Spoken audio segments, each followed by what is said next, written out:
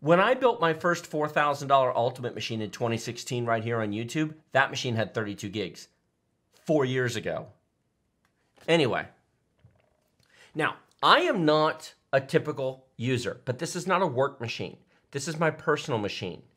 This is my personal gaming PC at home. This is not running Adobe. This is not doing video rendering. This does not have After Effects open. Now, I've got 68% of my RAM of my 32 gigs being used, to which some people would say, no problem. Now, um, if you look down here at the actual RAM use, you'll see that there's 10.4 gigs available, 10.6 gigs is cached. Look at the committed. Windows is actually into the virtual memory right now, and it's into the virtual swap. And if you take a look, there's almost four gigabytes of RAM compressed. Windows is running RAM compression to fit it all in there. You can see over here, standby, there's absolutely no RAM free.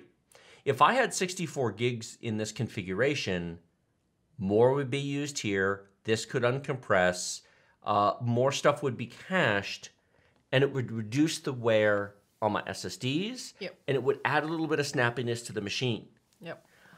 I launched, I was playing um, World of Warships.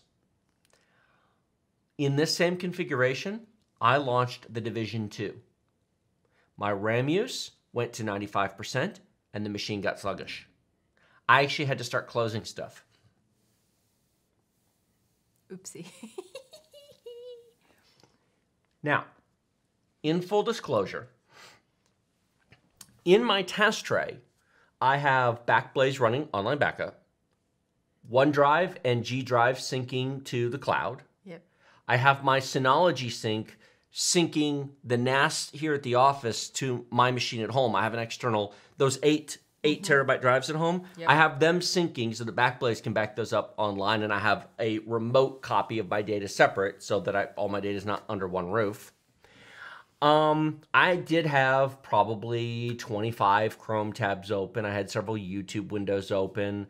Uh, You were pu- You were pulling up deals as well, weren't you? I'm always pulling up deals.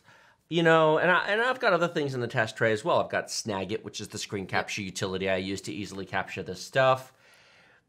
So that's maybe more than the average person has. I get it. But somebody buying a $1,200 monitor and a $1,500 video card is not an average user. No. If they don't put 64 gigs of RAM in their machine, they're nuts as far as I'm concerned. That doesn't mean you all need 64. No. 32 is where most of you should be. And I'm seeing a lot of people saying they put 32 in and I'm glad they did. Got an example to read?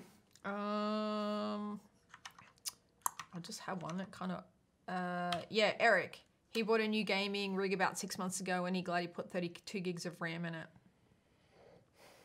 Yep. Here we go. I recommend PC gamers have 32 gigs of RAM. it- it gives it gives Windows room to look. You know, some people argue, well, some games aren't optimized. Uh, Dawn of War uses too much, or not Dawn of War. Uh, uh, Horizon Zero Dawn, Dawn. uses too much RAM, or, Yeah. or Assassin's Creed Valhalla is garbage. Windows sucks. Can you download a version of Windows that doesn't suck? No. Well, you know, 32 gigs of DDR4 3600 is $98. Yeah, here, Mr. Krupa says, You're so right with the RAM. The jump from 16 to 32 is huge, but also uh, full, same as you. Jump to 64 was great, and I don't want to ever go back. All the stutters are gone with 64 gigs of RAM. We, we see that a lot. If you've got stuttering, put more RAM in. If you have 16 and you think your computer is fine, have you tried 32? You get used to it. But but you don't realize what you've been living with and I mean, and certainly, of course, there's always going to be somebody who says, "I have 16 and upgrade to 32, and there was no difference." What do you do? I play Overwatch at 1080p on one monitor.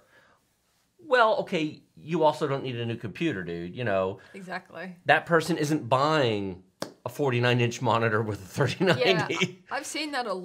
Warzone uses close to 14 gigs of RAM. I've seen that a lot from people. So, Oh, if you're running Warzone, you're crazy not to have 32. Yeah, yeah, yeah, so it, it's very dependent on your use case.